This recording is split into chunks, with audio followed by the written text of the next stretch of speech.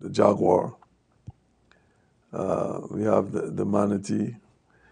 We have, uh, and I'm trying to, to call the exotic type of animals, not the regular cows and horse and, and dogs and stuff like that.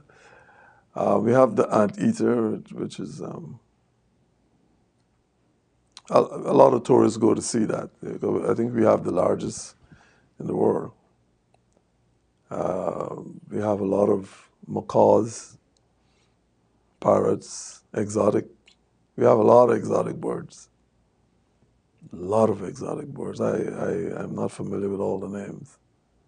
You will call it, we have what we call the kumudi, you call it the anaconda, and um, a lot of uh, alligators.